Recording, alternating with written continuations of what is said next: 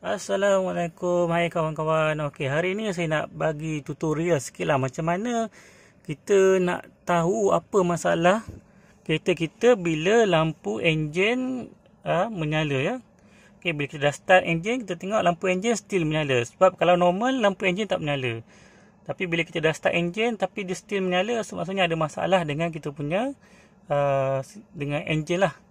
So hari ni saya nak tunjukkan macam mana kita nak cek dan tahu apakah masalah yang berlaku pada uh, kereta kita lah. Okey. Okey, baik. Sebenarnya ada dua benda je yang kita perlukan untuk nak cek uh, masalah lampu enjin eh. Kalau lampu enjin pada kereta kita menyala, so macam mana nak cek apa masalah dia. So kita perlukan dua benda je sebenarnya. Yang pertama sekali adalah uh, benda warna biru ni. Okey, kita panggil dia ELM327. Okey, ada tulisan itu interface support all OBD2 protocol. Okey, benda ni adalah sebenarnya untuk digunakan uh, membaca kod. Okey, membaca kod uh, pada sistem OBD kereta kita. Okay. OBD ni sebenarnya adalah uh, sejenis software lah, sejenis software yang digunakan oleh kereta zaman sekarang lah untuk uh, sistem elektronik kereta. Okay. Kebanyakan kereta sekarang gunakan software OBD2 untuk manage uh, apa ni uh, sistem elektronik lah dalam kereta. So, benda ni boleh dapat uh, dekat Shopee ada jual, Lazada ada jual. Harga dia pun tak mahal sangat, uh, lebih kurang dalam RM20 macam tu lah. Okay, tu benda pertama yang kita perlu ada lah, benda ni. Okay, ELM 327. Okay, tu satu. Okey, uh, benda kedua yang kita perlu ada pula adalah uh, apps lah. Apps yang uh, bernama Talk Light OBD2 NK. Okey, apps ni uh, percuma saja. Dia ada dua versi sebenarnya. Ada percuma dan membayar. So, untuk uh, permulaan ni kita boleh pakai yang percuma sajalah.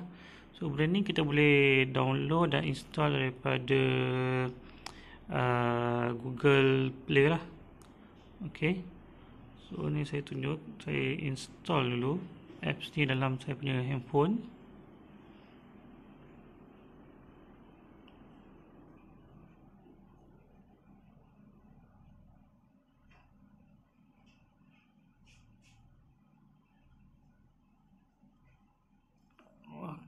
Okay,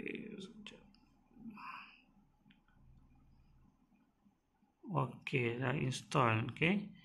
So ni tak ada apa ni, just klik okey saja. Okey. Itu no bluetooth device selected eh. Okey, ialah sebab kita tak uh, connect lagi sebab nanti kita akan uh, benda ni nanti kita akan cocok dekat kita punya uh, OBD port dekat dekat kereta Nanti saya tunjukkan kat mana OBD port tu dekat kereta.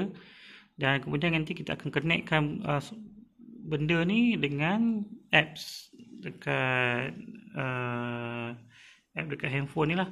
So bila dia connect nanti nanti dia akan boleh baca semua uh, data-data yang dekat dalam kita punya sistem elektronik uh, dekat kereta lah. Okay. Okay, uh, saya punya kereta kereta adalah Exora. Okey tapi saya rasa uh, semua kereta potong saya rasa sama kot dia punya port okey? Okey OBD port. Okey benda ni kita nak cocok pada OBD port kereta kita lah. So saya rasa semua kereta uh, Proton saya rasa tempat dia uh, sama rasanya okey? Okey tapi macam saya saya punya Exora. So OBD port ni pada kereta okey kalau Exora ni dia berada dekat bawah steering okey? Saya saya tunjuk tempat ya okey ni ni steering. Okey tengok ya.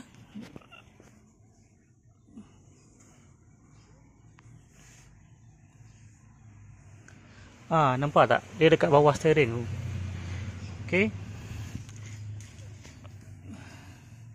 Okey saya tunjuk cara nak pasang dia eh. so kalau tengok dia punya bentuk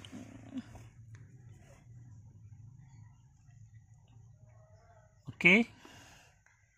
Uh, nampak tak? Okey, benda ni pasang dia.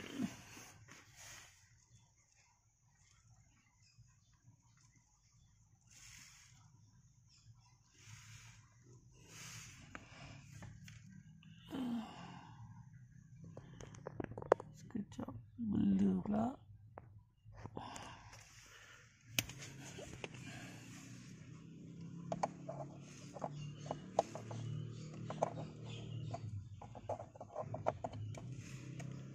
Okey nampak.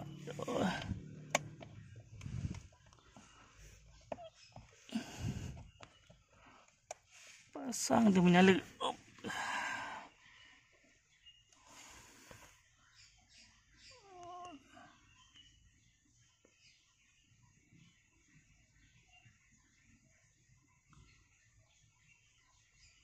Okey, ha, nampak ni.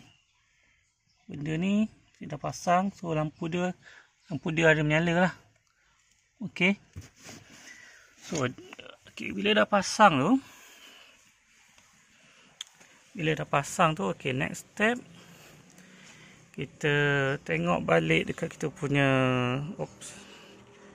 Kita punya apps ah. Okey, ni apps kita. Oh, saya tak aktifkan uh, okey saya cuba aktifkan uh, bluetooth. Okey bluetooth saya dah aktif. Tekan lama sikit. Ah. Uh, okey. Yang ni kita perlu scan. Eh refresh okay, refresh. Sekejap eh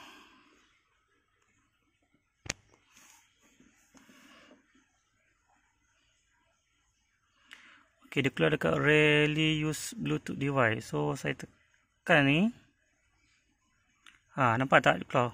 Pair, pair with OBD 2. Okay, kemudian dia suruh minta masukkan kod. So, kod ni biasanya kod ni biasanya nombor dia uh, 0000 ataupun 1, 2, 3, 4. Dia dah siap tulis dah. So, yang ni saya try masukkan kod 00 lah. 1, 2, 3, 4 kosong kosong kosong. And then tekan ok. So dia akan cuba pairing. Ah so dia dah pair dah. Ok? Eh could not pair ok kata could not pair. So salah kod. Ok salah kod. So kita cuba kalau tak boleh kosong kosong kosong tu kita cuba 1 2 3 1 2 3 4 pula Can I connect with OBD?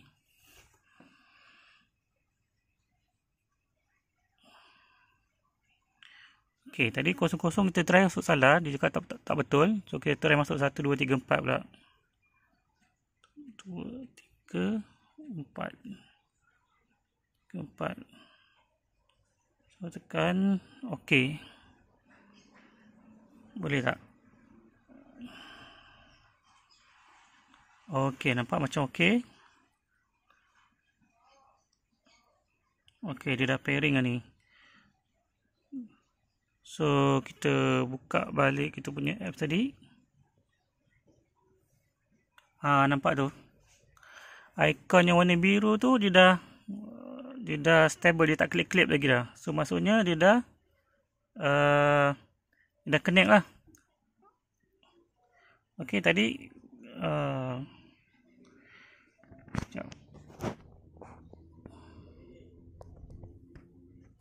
Nampak ikon ikon handphone tu maksudnya dia dah connect.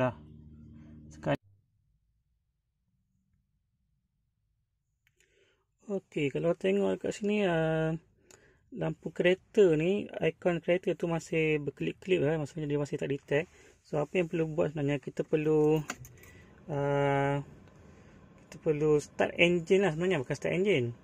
Uh, kita perlu uh, apa on kan kita punya uh, kunci tu lah dekat uh, dekat status on tu okey bila status on tu okey baru dia akan detect kita punya uh, sistem ECU electronic kereta okey connected to ECU okey uh, nampak tak ni? Okey so baru dia, dia dia stabil lah. So maksudnya dia dah detect apps ni dia dah detect kita punya sistem ECU so kalau kita nak check error kita nak check error dalam kereta kita so kita pergi dekat okay saya try uh, bentuk macam ni. Ok uh, macam ni senang sikit nak nampak. Kita pergi dekat bahagian uh, setting ni lah. Ok setting ok full file code. Ok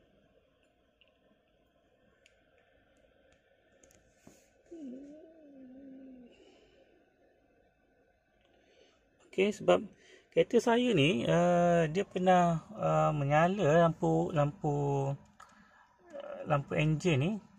Uh, sebelum ni dia pernah menyala tapi kemudian dia hilang. Uh, tapi sebenarnya dalam sistem elektronik kereta ni dia dah dia dah record sebenarnya apa log yang berlaku apa apa masalah apa error apa error yang berlaku dalam kita punya uh, sistem elektronik. So dekat sini saya nak tunjuk uh, macam mana kita nak tengok Okay, so dekat sini kita boleh tadi saya tekan uh, kita tekan show log. So dia akan scan lah.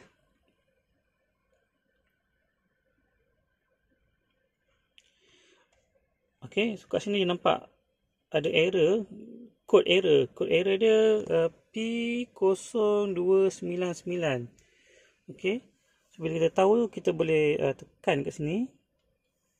Okay, uh, sistem ni ditulis uh, unknown code lah. Okay, tapi sebenarnya bila kita tahu uh, number code error tu 80299 ni, kita boleh search dekat website lah sebenarnya. Okay, kita boleh search dekat Google uh, apa maksud code error ni. Okay, so macam ni saya, saya bagi contoh, saya pergi dekat web. So, dia akan search lah apa sebenarnya code bagi error ni. So, kalau tengok dekat search ni, dekat result dia, dia tulis ni, OBD2 okay. OB sorry. Okay trouble card okay description dia turbo turbo charge super charge under boost condition condition. So maksudnya ada problem dengan saya punya turbo lah sistem turbo lah. Okay. So benda ni so kita dah tahu basic sebab uh, apps ni sebenarnya dia untuk, untuk kita ketahui lah apa apa apa sebenarnya area yang berlaku. Kalau kita tengok okay, dekat uh, dekat lampu enjin ni bila dia menyala kita nak tahu apa sebenarnya error sebab dia ada banyak dia ada banyak error so bila menggunakan yang software talk ni dengan uh, dengan device ELM tu so kita boleh kita boleh tahulah secara secara basically apa sebenarnya error yang yang yang wujud dekat dalam kita punya sistem kereta tu. Okay. So saya rasa uh, itu saja. Saya harap video ni dapat membantu kawan-kawan yang yang ada masalah lampu enjin menyala lah. Okay. So benda ni kalau nak betulkan memang tak boleh betulkan sendiri lah. Kita kena pergi ke bengkel ke pergi ke service center ke. Basically supaya uh, bila kita pergi ke service center tu biasanya kita dah dapat gambaran lah apa masalah sebenar kita punya kereta tu. Okay. Okay. So jumpa lagi. Sekian. Terima kasih.